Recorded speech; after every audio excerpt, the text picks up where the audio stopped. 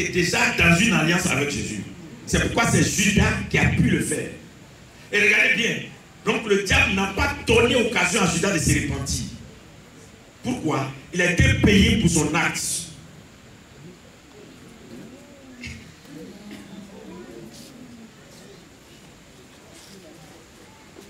Est-ce que quelqu'un me suit un peu? Il a été payé pour son acte et son acte qu'il a payé, il a été payé là. Il a touché à quelque chose de sacré. Donc, au moment où lui pensait qu'il vendait Jésus, en réalité, on l'échangeait.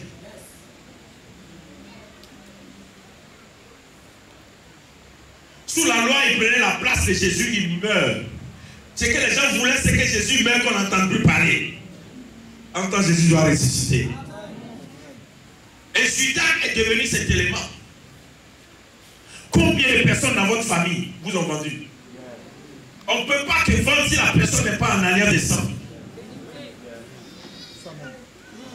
C'est pourquoi la Bible dit l'homme aura pour ennemi les gens de sa propre maison. Ce qui t'arrive ne vient pas de loin. C'est juste dans le sang.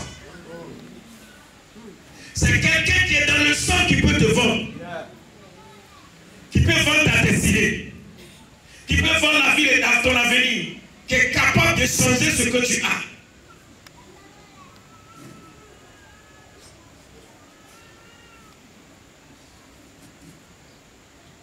Et donc la vie chrétienne n'est pas une vie de plaisanterie, c'est une vie d'engagement. Et quand tu t'engages dans le Seigneur, quand Dieu te parle, il n'y a pas, on ne joue pas avec. Il n'y a pas fait de maman, papa.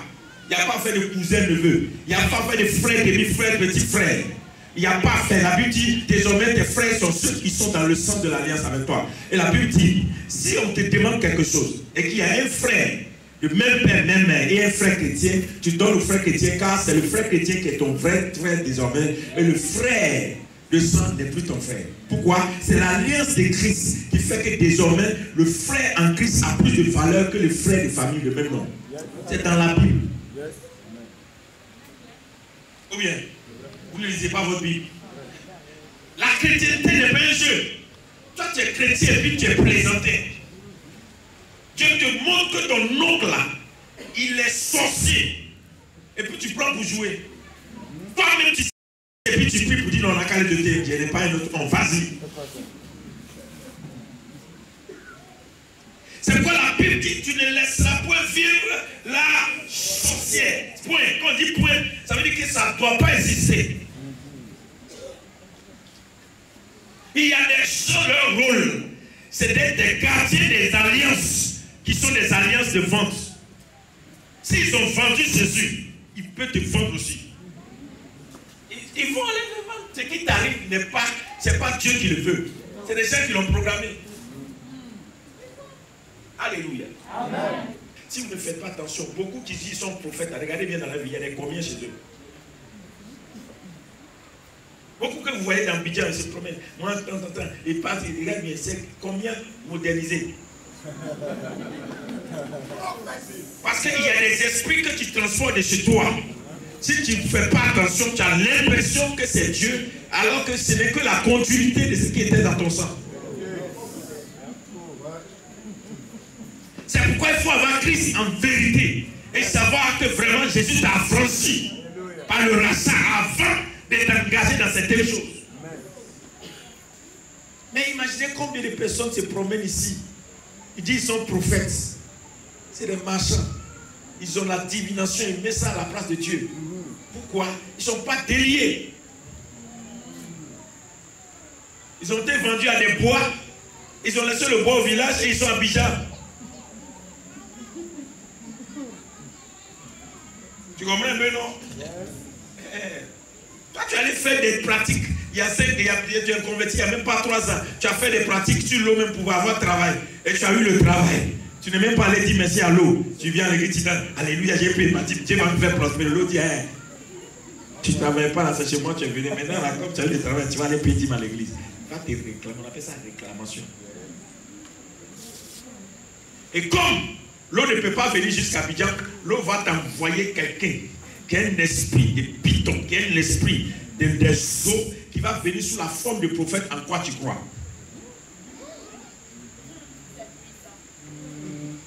Et la personne te donne une révélation, mais c'est l'esprit de l'eau qui s'est incarné à la personne, juste pour te dire tu dois faire ça. Et maintenant tu vas te rendre compte que la pratique que la personne te dit de faire ressemble à la pratique que tu dois faire au village.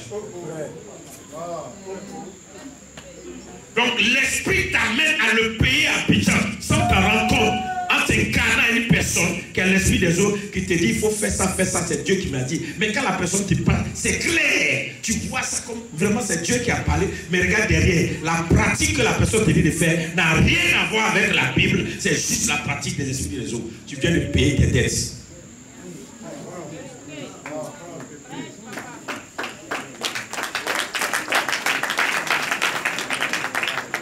Vous devez chercher la conversion.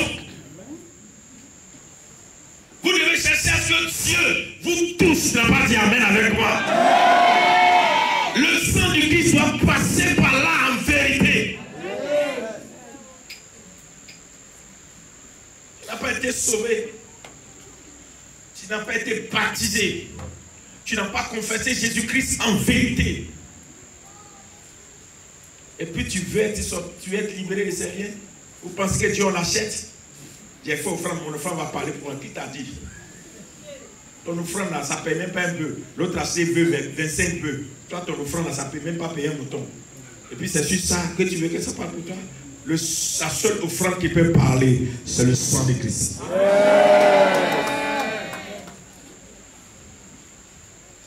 Mais il va falloir que tu comprennes qu'est-ce que c'est que le sang de Christ. Est-ce que je suis en train de faire du bien à quelqu'un?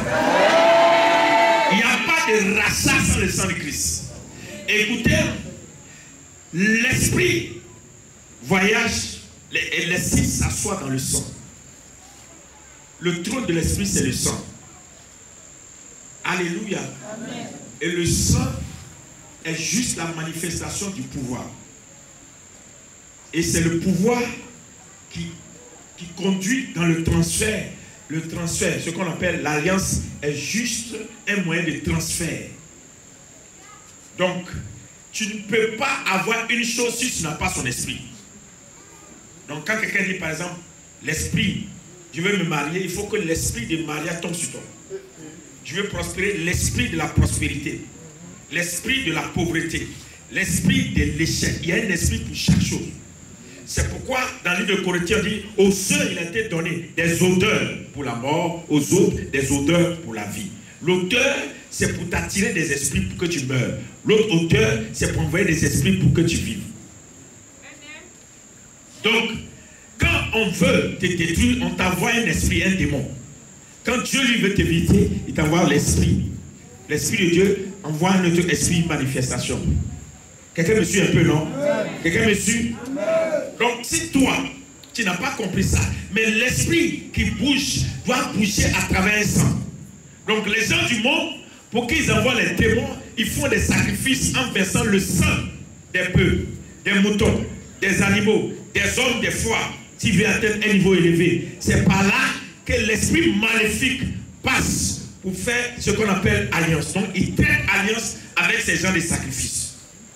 Et ils ont le pouvoir par le sacrifice. C'est pourquoi la Bible nous a dit, soyez sûrs que quelqu'un qui a une alliance a un pouvoir. L'alliance est une position pour transférer un pouvoir. On ne parle pas d'alliance sans pouvoir. L'alliance avec une domination, c'est juste pour dire, ce qui est chez toi doit venir chez moi. Et ce qui est chez moi doit venir chez toi. Donc si la France a fait des alliances avec la Côte d'Ivoire, bien la Côte d'Ivoire a fait des alliances avec la France, ça veut dire qu'il y a des choses que nous prenons de la France et il y a des choses que la France a le droit de prendre de chez nous. Il ne nous dépouille pas. C'est l'alliance qui donne ce droit. Donc quand tu traites alliance avec une domination, tu es dire à la domination, tu peux venir chez moi quand tu veux, je peux partir chez toi quand je veux. Plus l'alliance est forte, plus il y a des affaires faciles. Donc imaginez des alliances, des mauvaises alliances qui ont été faites dans votre vie, donnent accès à certaines manifestations dans votre vie. Donc ces esprits ont le droit de venir quand ils veulent et ressortir quand ils veulent. Ça va? De l'autre côté, nous avons Jésus. Et la Bible dit que son sang est sans souillure. Son sang, c'est la nouvelle alliance. Vous avais lu déjà le verset. La Bible dit que l'ancienne alliance est mauvaise et il y a des mauvaises choses dedans. Mais la nouvelle alliance est venue nous racheter. Et maintenant, Jésus, lui, il va verser son sang, qui est un sang sans péché, et l'Esprit de Dieu va traverser le sang. Et l'Esprit de Dieu va dresser un pont pour que ce qui est chez Dieu vienne sur nous et ce qui est chez nous passe chez Dieu. Quelqu'un me suit un peu? Tu ne peux pas, c'est que la Bible dit que nous l'avons vaincu. Par quoi? Par le... Nous l'avons vaincu par le... On a dit par la prière. Nous l'avons vaincu par le... Par la dîme. Nous l'avons vaincu par le... Tes sacrifices aujourd'hui les chrétiens connaissent plus le sang de Jésus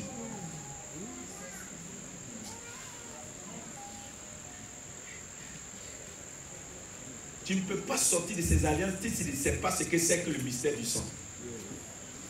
C'est juste par le sang. C'est le sang. Le sang doit parler. Le sang de Christ doit parler.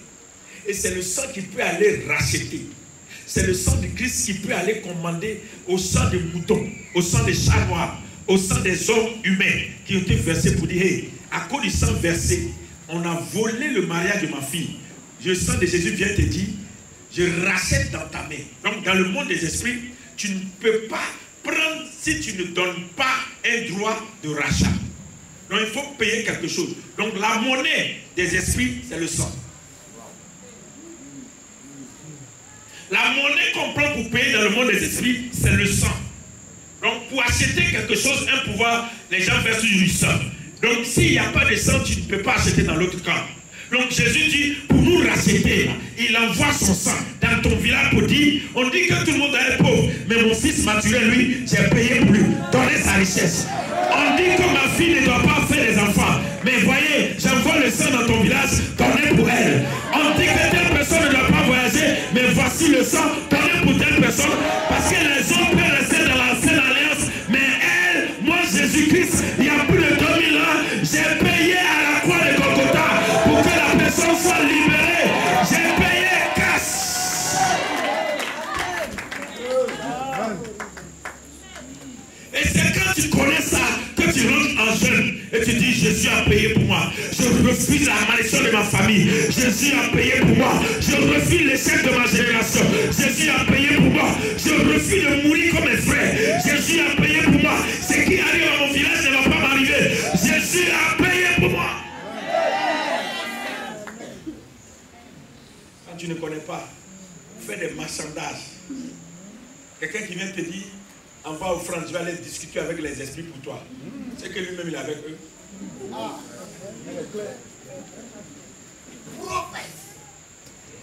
Amen. Toi-même, toi-même, tu dis que tu es enfant de Dieu. Quelqu'un vient te dire, envoie une offrande, aller parler aux esprits pour toi. Aïe, Si le sang de Christ ne peut pas parler, c'est un prophète qui allait discuter dans un village pour toi. Tu sais qui va là-bas? Ils le connaissent. Ou bien, tu ne peux pas être médiateur si tu ne t'entends pas avec eux. Et alléluia. Alors que la Bible dit, le seul médiateur que nous avons, c'est Jésus-Christ qui allait dans les séjours des morts. Et Jésus n'a pas discuté. Le premier jour, il est parti. Le deuxième jour, le troisième jour, la Bible dit que Jésus est apparu. Il dit, hé, hé, hé, hé, la mort, donne-moi la clé. Tu as tenu en captivité Abraham, Moïse, jusqu'à Jacob, tout cela, tu les as tenus en captivité. À cause de la loi, à cause du sang des moutons, à cause du sang des bœufs, tu les as tenus en captivité. Je suis venu avec mon sang. La Bible dit qu'il a vaincu la mort. Et il a dit, donne-moi la clé, donne-moi la clé, donnez-moi. Donne-moi sa santé, donne-moi sa richesse, donne-moi son voyage, donne-moi sa bénédiction, donne la clé, donne, donne. Il n'a pas discuté, dit, donne. C'est ça. L'autorité que nous avons, nous avons ça en Christ. Nous avons ça dans le sang de Christ. Si tu n'as pas l'autorité dans le sang de Christ, tu ne peux rien faire. Vous voulez vaincre ces choses avec votre légèreté dans la vie chrétienne? Tu es trop léger dans ta chrétienté. Il y a des choses que tu ne peux pas vaincre. Parce que ta chrétienté est faible. Ta chrétienté est une chrétienté qui n'est pas profonde. Tu ne crois même pas en Jésus. Tu ne connais pas la valeur de ce sacrifice. Tu ne sais pas qu'est-ce que c'est que la valeur, l'œuvre accomplie à Golgotha. Tu parles de Golgotha, mais tu ne connais pas Golgotha. La Bible dit que quand il était à Golgotha, ils ont percé ses côtés. Quand ils ont percé ses côtés, le sang est sorti, l'eau est sortie, l'huile est sortie, l'esprit a voyagé dans les trois dimensions. L'âme, l'esprit et le corps. Jésus n'a pas sauvé seulement l'âme, il a sauvé l'âme, l'esprit et le corps. Et là, il s'est arrêté, dit, tout est accompli. Il n'a pas dit, j'ai accompli les choses. Tout est accompli.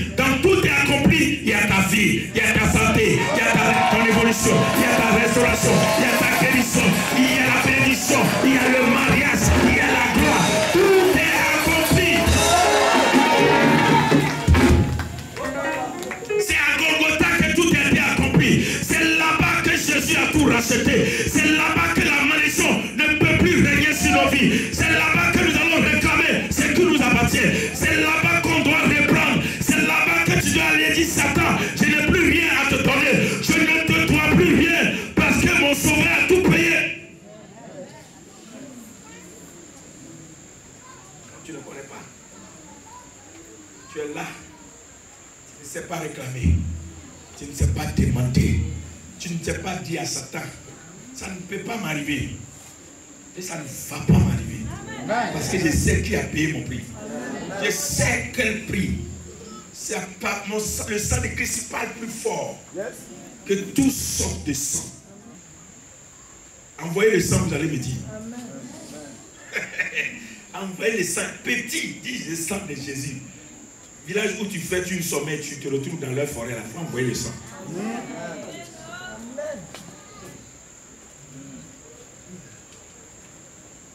Envoyer le sang. Nous parlons de l'Esprit de Dieu, mais nous ne savons pas une chose. L'Esprit de Dieu ne peut pas travailler sans le sang. Parce que tout pouvoir est installé dans le sang. L'Esprit de Dieu doit s'appuyer c'est par le sang. Écoutez, Dieu ne peut pas venir sur la terre s'il n'y a pas eu goût de sang. Amen. Amen. C'est ça. La Bible dit que dès qu'on l'a percé, que le sang est tombé sur la terre. Donc, tant que son sang n'était pas versé, le ciel n'a pas sombri- assombri. Ou bien, il était à Golgotha. On le maltraitait, il n'y avait rien. Mais quand ils ont percé ses côtes, et que le sang est tombé sur la terre, la Bible dit que Satan a commencé à crier. Et c'est là qu'il a été dépouillé. Lisez votre Bible. Il a été dépouillé de toutes ses dominations. Il a tout perdu. Quand le sang est tombé automatiquement, il a tout perdu. Si ce soir, tu envoies le sang dans le camp de tes ennemis, ils vont tout perdre. Si ce soir,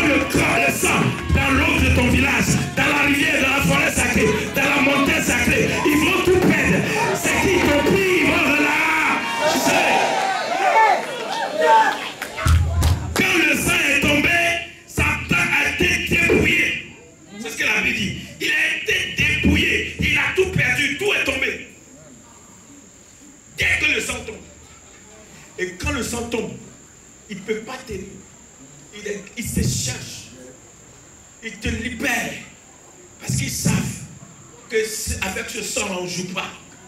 Le sang de Jésus, on ne prend pas pour jouer. Il y a des alliances qui parlent contre nous. Nous allons les arrêter aujourd'hui. Il y a des alliances qui opèrent contre nous. Nous allons dire à ces alliances-là, ça suffit comme ça. Mon frère, comme toi, tu es dans une maison. On dit maison là, un peu, et puis tu fuis. Hein? Tu es dans une maison, une maison tête, tu plies tes bagages. C'est parce que tu ne connais pas le sang de Christ. Beaucoup de chrétiens, comment vous êtes ici aujourd'hui, quand vous parlez de quelqu'un sorcier, bien sorcier là, il faut faire attention à nous. Comment ça? Tu connais pas, puis affaire de sorcier. Parce que tu ne connais pas, alléluia.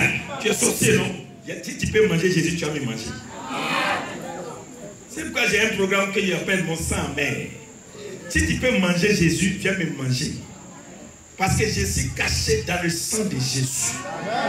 Tu vas pris le sang. S'il y a un sorcier qui vient chez toi, il faut verser le sang. Il faut asperger l'huile. Tu dis, c'est le sang de Christ que j'ai aspergé dans ma maison. Tu vas voir la même nuit là. Il va dire, hein, excusez-moi, je ne me sens pas bien, je ne vais pas dormir ici. Je vais aller prendre l'hôtel. Il y a des endroits où tout le monde ne dort pas. Alléluia. Ton argent qu'ils envoûtent, prends l'argent, invoque le sang de Jésus, donne dans sa main, il va jeter ton argent. Si tu veux me donner l'argent, il faut me donner. C'est quelle histoire? Dans le monde des esprits, il sait ce qu'il attendait. Ce n'est pas l'argent qu'il cherchait, il voulait te voler. Tu dis non, hein, on m'a volé avant, quand Jésus n'était pas là. Mais quand Jésus a versé son sang, on ne peut plus me voler. Personne ne peut prendre ma richesse. C'est pourquoi rendez grâce en tout. Ne vous pressez pas de manger. Ne vous pressez pas d'utiliser vos salaires. Sans que vous n'avez pas rendu grâce. Vous dites, Seigneur, que son sang sécurise mon salaire du mois. Que ton sang sécurise mon foyer. Que ton sang sécurise mes finances. Que ton sang sécurise mes fiançailles. Que ton sang sécurise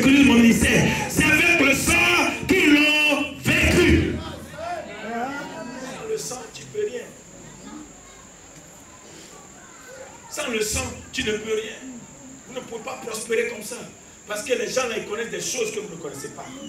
Seul le sang de Christ. Seul le sang de Christ.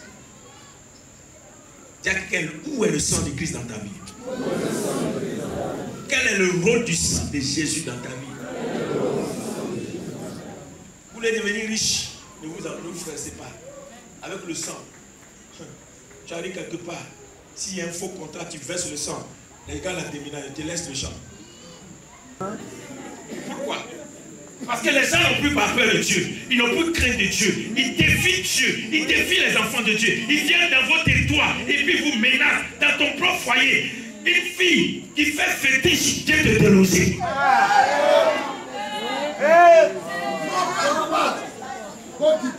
Un, travail tu as gêné, Dieu t'a donné. Quelqu'un fait marabout et puis on te chasse. C'est pas normal. Où est le sang de Jésus? Quand tu as le sang de Christ, tu ne laisses pas ton territoire. Celui qui arrive dans moi ça, il doit goûter au sang de Jésus. Quand tu as le sang de Jésus, que me suivez un peu? On dit aussi ta promotion. Et puis un plaisantin Viens s'asseoir là pour dire que moi je ne vais pas signer tant que tu ne me donnes pas ton corps. Tu dis, attends, je vais t'envoyer le corps de Jésus. C'est mon corps, tu veux pour signer mon truc. Attends-moi. Quand tu connais le sang de Jésus, si on l'a pas enlevé de là-bas, et puis il va s'asseoir, il va comprendre qu'il ah, y a des gens là, on ne les touche pas. Il ne va pas respecter ton Jésus. Faites respecter Jésus, je vous en prie. Donnez de l'autorité à l'évangile.